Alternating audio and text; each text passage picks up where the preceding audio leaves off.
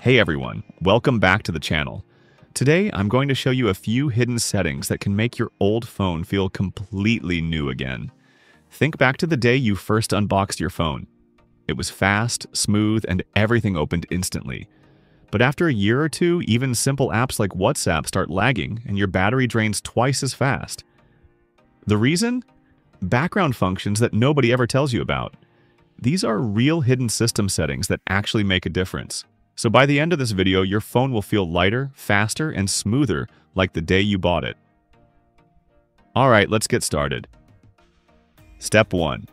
Clear the hidden junk that slows everything down. First things first, let's clean up what's secretly eating your phone's speed. You've probably heard of something called cache, but most people don't really know what it is. Think of it like this. Every time you open an app, your phone saves little temporary files images, thumbnails, bits of data. So the next time you open that app, it loads faster. That's what cache does. The problem is, over time, these cached files pile up. They take up storage, use memory, and even make your app slower instead of faster, especially if they get corrupted or outdated. So, it's time to clear it out. Open Settings, scroll down and select Apps. Now tap the three lines or filter icon near the top and choose Sort by Size. The biggest ones are the apps that take up the most space and resources. Tap one of them, go into Storage, and press Clear Cache. Don't touch Clear Data. That would erase your app info, logins, or saved progress. Clearing the cache only removes temporary junk files. It frees up storage, refreshes your apps, and instantly makes your phone feel faster without deleting anything important. Repeat this process for the other apps taking up the most space.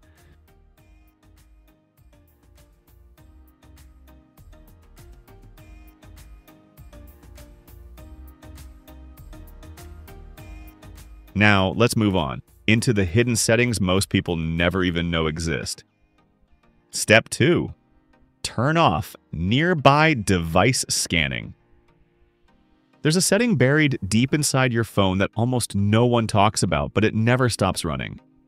Even when your Bluetooth is off, even when you're not connected to anything, it's still there, quietly working in the background. It's called nearby device scanning, and its job is to constantly look for nearby Bluetooth and Wi-Fi devices, speakers, TVs, even other phones. It does this so your phone can instantly connect to things around you. But here's the catch. 99% of the time, you're not connecting to anything.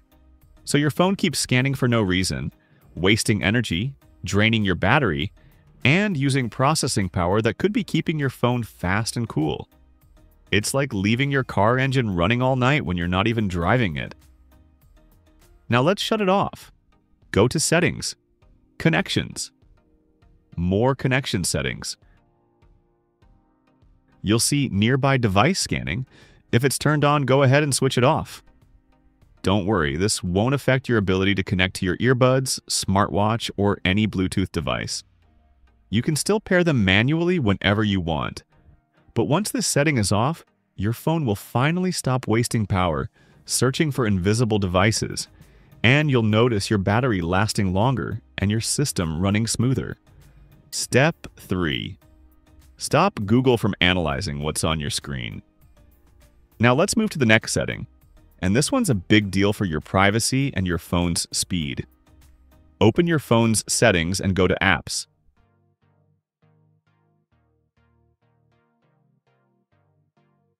Default Apps, Digital Assistant app. You'll probably see either Google Assistant or Gemini selected. What most people don't realize is that these assistants don't just wait for you to say, hey, Google. They're quietly running in the background, constantly listening for triggers, analyzing what's on your screen, and syncing that data to the cloud. That's why we're going to turn it off completely. When you choose None instead of Google Assistant or Gemini, something important happens behind the scenes. Your phone stops sending your voice to Gemini or Google servers. It blocks any AI from analyzing your screen or reading on-screen content. And it removes the assistant trigger so it won't wake up every time it hears something similar to, Hey Google. This single change completely disables both Gemini and Google Assistant from running as your system-level voice or screen assistant. Now let's move to the next one. 4. Turn off animation scales to boost speed instantly. Now that your phone is secure, let's, let's make it faster. What most people don't realize is that Android intentionally adds animation delays between every action. When you open an app or swipe a screen, your phone is playing smooth transitions. Not because it's slow, but because it's programmed to wait. You can remove that delay completely. Go to Settings, About Phone, select Software Information, then tap Build number 7 times to unlock developer options. Your device will ask for your screen lock pin or password. Once it's enabled, go back to the main settings menu. You'll now see developer options. Open it and scroll down until you find Window Animation Scale, Transition Animation Scale, and Animator Duration Scale. These three settings control how fast your phone's animations play whenever you open apps, switch screens, or perform any visual action. Change each from 1x to 0.5x. Or animation off right away, your phone will feel snappier and smoother.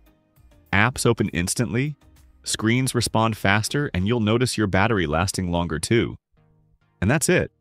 Four hidden settings that make your phone faster, safer, and more private.